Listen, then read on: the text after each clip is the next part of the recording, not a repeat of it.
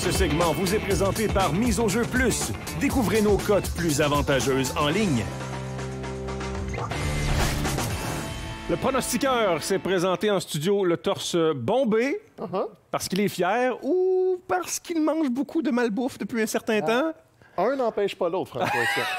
Ah, ça, avec toi, on le sait. On le sait. Euh, Stéphane, ça a l'air que j'ai plus le droit de t'appeler Stéphane, mais il faut que je t'appelle Monsieur Morneau pour Oui. euh, l'ensemble de tes, de tes paris de la semaine dernière. Je pense qu'on l'avait appelé la semaine dernière. Si mes paris allaient bien, ça allait être Monsieur le pronostiqueur Morneau. Ouais. Donc oui, euh, je me suis un petit peu bourré la panse avec mes gains de la semaine dernière. là, des très bonnes semaines au niveau des paris. Les Dolphins, ça n'a pas fonctionné, mais c'est pas grave. Je peux me permettre des petites erreurs.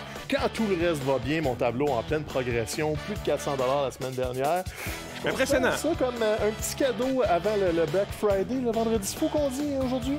Ah oui, ah, oh, est-ce que tu vas faire des mises du vendredi fou? As-tu des rabais sur tes paris? J'ai pas de rabais sur mes paris, mais mon coffre est bien rempli pour euh, aller vers de nouveaux paris parce que besoin de rabais, ça va tellement bien. Bon, OK, ça a bien fonctionné la semaine dernière. Tu vas faire quoi cette semaine? Bon, cette semaine, écoute, je retourne un petit peu à la base. Euh, pour les écarts de points, je voulais m'intéresser à des équipes un peu populaires. Là, on, on est à la fin de la saison. C'est quand même plus difficile de parier contre les équipes qui sont virtuellement éliminées Ouais. pendant la course. Donc, je me suis tourné vers des affrontements avec des équipes où ça va être compétitif.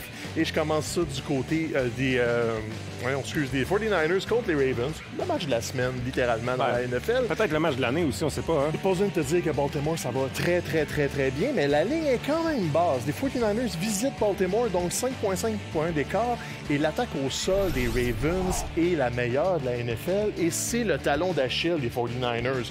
Oui, ça va bien à San Francisco, la défensive est bonne, l'équipe va bien, mais ils ont de la difficulté à stopper la course, et ça, je pense que ça va les mener à leur perte, et ça va continuer le momentum des Ravens qui vont très, très bien, François Étienne. là. Sept victoires de suite. Plus de 40 points lors des trois derniers matchs, c'est tout simplement fou, ça ne se produit pas.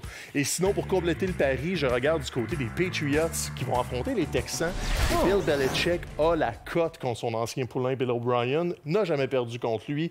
Ils ont gagné les huit derniers matchs contre les Texans, donc euh, trois points d'écart. Je le sens bien pour les Patriots, même si Tom Brady est blessé. Même si, parce que la Même défense des Pats va faire le boulot. Exactement, Voilà, ça va être un gros mandat pour. Et ensuite, Ensuite, ben là, j'ai repris une formule la semaine dernière. J'avais misé sur des matchs que j'allais considérer comme plus serrés avec des bas pointages, Ouais. pour ne pas dire des matchs plates.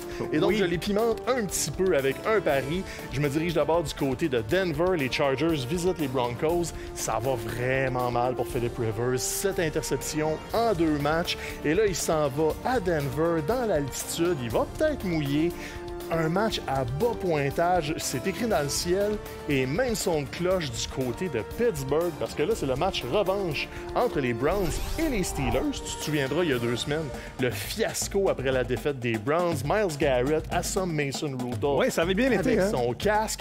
Tout ce bordel-là, ça fait juste deux semaines, et là, on reprend les hostilités. C'est euh, Devlin Hodge qui sera derrière le centre des Steelers. Encore là, c'est les mêmes équipes. Ça s'est terminé euh, 27, euh, 21 à 7 il y a deux semaines. Je vois pas un pointage plus haut. Donc, j'y vais encore sous le total de points. Honnêtement, je suis très confiant dans ce pari on dirait que oui. C'est bien logique Oui, et comme offre. c'est bien logique. Et là, pour ma, ma troisième offre, je m'éloigne un petit peu de la logique. Là, j'y vais avec un autre coup de circuit. Trois corps arrière pour lancer des interceptions cette semaine. François Etienne, de Sean Watson contre la terrifiante défensive des Patriots. Philip Rivers qui en distribue comme des cadeaux de Noël depuis Ah, deux ouais. semaines. Et le toujours électrisant Jameis Winston qui s'en va affronter le front défensif des Jaguars. Il va être sous pression toute la journée. Et de toute façon, il y a juste trois matchs cette saison où Jameis n'a pas lancé d'interception. C'est- Ces trois-là ensemble, c'est un pari gagnant. Mais je la trouve euh, le fun, euh, cette offre, euh, mon Fais cher comme la semaine dernière. Écoute-moi, puis tout va bien aller. Ouais. Monsieur, Ça fait plaisir. merci, monsieur. Merci.